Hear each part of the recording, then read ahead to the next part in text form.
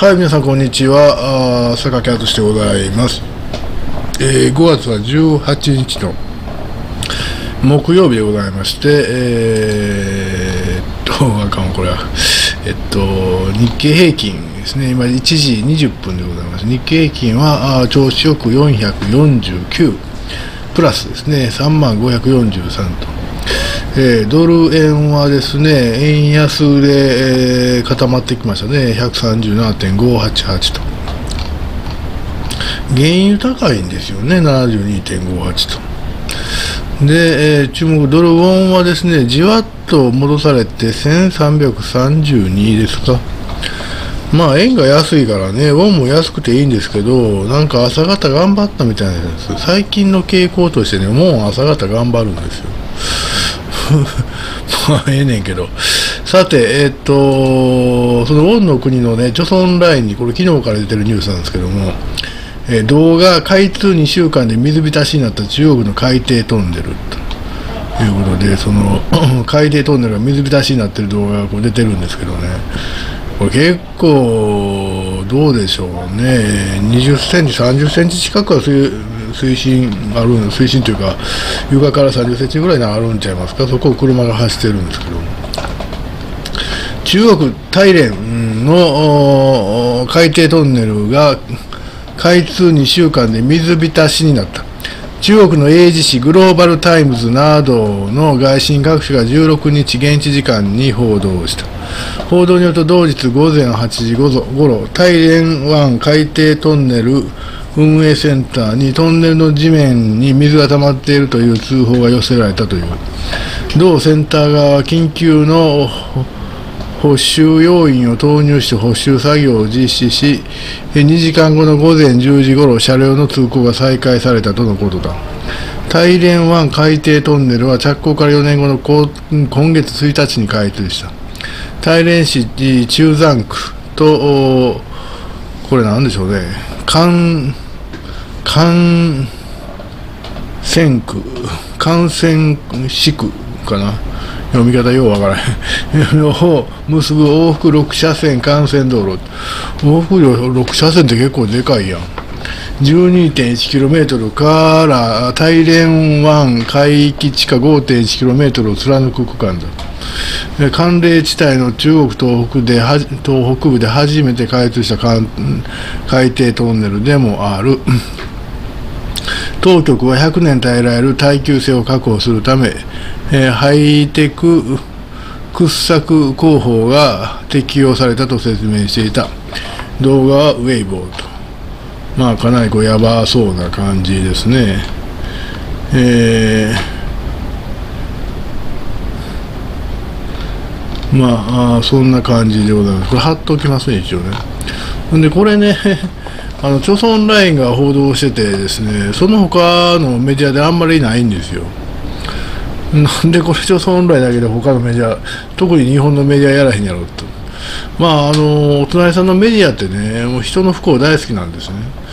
あの、日本が東日本大震災になった時ですね、もうざまあみたいな報道ならしちゃったんですね、実は。お隣さんって。性格悪いでしょ。もういまだにね、あの日本に原爆が落とされたとかってざまあなんですよ。BTS なんてね、日本に原爆が落とされたの T シャツ着てね、えーって喜んでたんですよ。まあね、あのそういうあの人柄の人たちの俺作る、まあ、そういう国の、そういう品格の国なんですよ。まあ、それはそれでね、わかるんですけど、あのこの大連のね、海底トンネル見てるとね、これや、かなりやばそうなんですね。これ、この後どうなったんでしょうね。えーあのこれ海底トンネルね、一回こう水が出てきたということはね、これ塞塞塞ぐの大変で、これポンプでね、水を吸い出すのも結構大変なんですよ。今どうなってるんでしょうね。えーなんかこういうのってな、もうなんか怖くて走れないですよ、こういうところって。で、そもそもなんで海底トンネルなんでしょうね、これね。あの、なんて言いますか。あの橋かけるのとトンネル掘るのとですね、えーどっちが難しいかっていうと多分お金かかるのはトンネルの方やと思うんですけどねまあ、いろんな面でですね、まあ、橋もね、土木工事で一番難しいのが橋やって言われるんですけど、まあ、橋の方がまだ作業がしやすい分、お金はかからないんちゃうかなという気はしますけどね。えー、あのまあ、飛んで、まあいいけど、まあいいか。あのまあ、橋もね、トンネルもね、やっぱり土木工事のこう一番のこう困難な技術が伴うわけで、まあ、日本の橋梁技術っていうのは世界一と言われてましてですねあの世界の名だたるですねでかい橋はですねほとんどですね日本のですねゼネコンがあ全面的にやってるかあるいは技術協力してるかというふうに言われています。中国の土木なんては僕全く信頼してませんでお隣さんもねあっちゃこっちゃいってねダム作ったり橋作ったりしてるんですけどね。もう欠陥工事多すぎ。もう怖い怖い。あの大体がですね首都圏の首都のソウルにあるですねなんたら大橋っていうのが落ちたんですよ。橋が。あれ何年やったかな。あのなんたら大橋っていうのが落ちたんですよ。あのー、なんたら大橋なんだねえっと。えー、出て出てけへんわ出てけへんわなんたら大橋ってのが落ちてねでその隣にね日本時代からかかってるそのあ清水大橋孫捨て魚孫捨て孫捨て魚大橋っていうのは1994年に落ちたんですよえ、っとハンガンという、まあ、日本でいう隅田川みたいなところあみたいにかかってるその橋がね落ちたんです。1990年に。その隣に日本時代からかかってる橋は全然なんともない。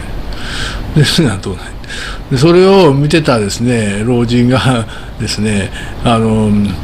日本日本の 橋は日本時代の橋はなんで落ちんのに今の橋は落ちんねんとかって言うてですねそれを聞いたですねあの若者がですねそんなに日本が悪さを仕掛けたから今は我々はってそこまで行ってへんねんとかいうなんかわけのわからんことを言うてですね言い合いになってですねその老人が殴り殺されたというそんな事件まで起きてるんですよお隣さんは。で最近少ないですけどねお隣さんはあの営業中のです、ね、デパートが崩れるという事件もございましてですね、えー、あのいろいろ起きてます。つい最近起きたのは誰も死んでないんですけどですね、建設中のマンションが崩れるというのが起きました。であの日本でもねあの、建設中のマンションが欠陥が発見されてですね、えー、建て直したとか潰したとかいう話がありますけども、潰れたという話はですね、いまだにないですね。えー、崩れ落ちたとかっていうのはいまだにないですね、えー、やっぱり大人さんとかね中国って時々ね、えー、できたもんがねガシャンと崩れるんですよ、えあの北朝鮮すごいですよ。北朝鮮はねこの高層住宅20階ぐらいの高層住宅作ってね「オーラできたやろええやろ」っつって。それでその幹部に労働党のね幹部にねあの住ましてたんです。そしたらある日突然ガシャーンって潰れて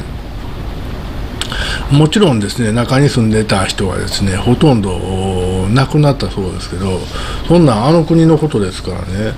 報道されるわけないでしょう。なそれ以来ね北朝鮮ではね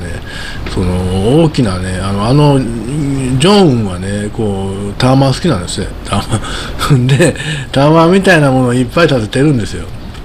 作れ作れな今年中に何万個やとかって言って作らせてるんですよ。で一応一応パッと見できるんですよ。パッと見。ああできた。なるんですよ。でもねみんなはね住みたがらへん。特に上の方は住みたがらへん。なんでかっていうとですね あの電気も水道も届かへん。一日に電気が来るのが数時間とかあったらその時間しかエレベーター使えないわけですそれはっきり言うてあのまた刑務所の方がええんちゃうのみたいな。そんなですね。あの冗談みたいな話がですねあの国ではあるんですよ。まあねあの我々日本という国はねもう電気来るのは当たり前水道出るのは当たり前でしょ。閉じ込められたらですねもう助けに来てくれるわけでしょ。